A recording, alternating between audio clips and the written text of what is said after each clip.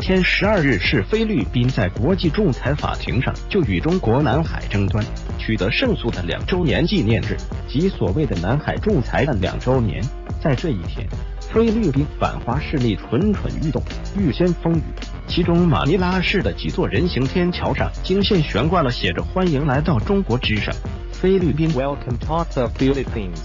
province of Chile 的红色横幅。这些横幅的短语用英文和中文书写，英文字“欢迎来到菲律宾，中国的一省”，英文字的下方则有中文字“欢迎来到中国的菲律宾”，上还有中国国旗。横幅上的信息似乎与菲律宾总统杜特尔特二月份的一个笑话有关联。当时他在华商聚会上开玩笑的提到说。可以让菲律宾成为中国的一个省份，这不好笑。今天是七月十二日，我们纪念菲律宾对中国南海岸的胜利。在大面区多座人行天桥，却突然出现这样的布条，有关当局应立即把它们拆下来。南海岸菲律宾法律团队成员、前总检察长西梅昨天上午在脸书页上张贴照片，写道：“后来。”马尼拉市大米发展署在警员和地方政府人员的帮助下移，除了在 C 五济顺大街、伊斯班营欢迎园地、八旗市的机场路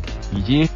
联邦大街的横幅，但是事情并不是那么简单。类似横幅照片已在菲律宾社群网站流传。菲律宾人认为中国占领了菲领土，一些不知情的非民众已发愤怒，华人族群也开始担心。是否会引起排华情绪？这挑拨中非民众关系的幕后黑手到底是谁？菲律宾总统发言人哈里罗特 （Harry Lok） 随后在总统府简报中表示，这些横幅的幕后黑手是政府的反对派。哈里罗特在新闻发布会上说，反对派是大民区某些地区悬挂的“欢迎来到中国”的菲律宾横幅背后的主谋，这很荒谬。他们总是喜欢在背后搞小动作。他们这么做是为了激怒菲律宾人，显然他们是在散播我们放弃了国家领土的谎言，而真相根本不是这样的。我想对他们说，能不能想个更好的把戏？然而，在智库罗莎里欧战略及国际问题研究所